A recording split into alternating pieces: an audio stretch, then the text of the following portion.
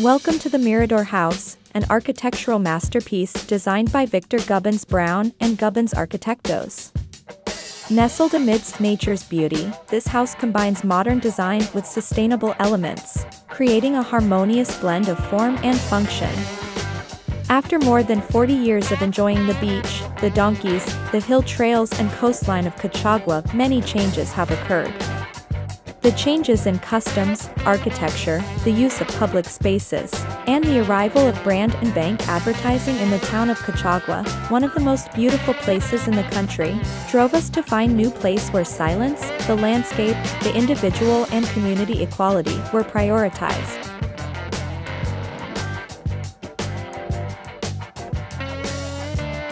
We left the 5th region north and arrived at the 5th region south, moving closer to the coastline, looking more closely at the waves, rocks, and seagulls. The landscape of Tunquén of our house, located in Punta del Gallo, 1 hour and 45 minutes from Santiago, is extraordinary. We enjoy the area so much that we are here as often as we can, because in this solitude we find our being and development, dedicating ourselves to reading, writing, watching, walks and talks. We imagine the house project Mirador, elevated from the terrain, which allows us to see both the land and the sea at once. Step inside and experience the seamless integration of indoor and outdoor living spaces. Every room is meticulously crafted to capture stunning panoramic views and let natural light flood in. The Mirador house is not just visually striking, it's also eco-friendly. From its energy-efficient systems to its sustainable materials, every aspect of the house is designed to reduce its carbon footprint.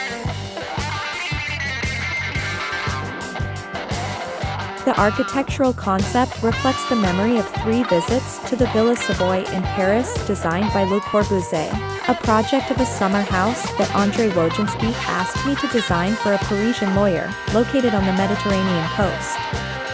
This project, the design of 25 houses Surfacope in Las Condes, and the Rotunda House in Peñalolén Alto all use a basic geometry, a solar orientation and communication with the site. The Mirador house rises from the ground ascending to the main floor by a ramp, and is comprised of a large meeting space connected to two terraces that open to the sea and the countryside respectively on opposite sides, and two departments on both sides.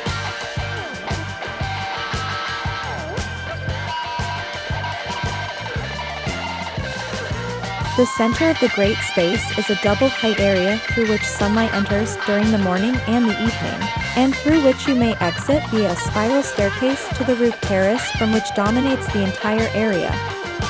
The main floor described is based on a base volume where a changing room and bathroom is housed, for those who go camping or swimming at the beach.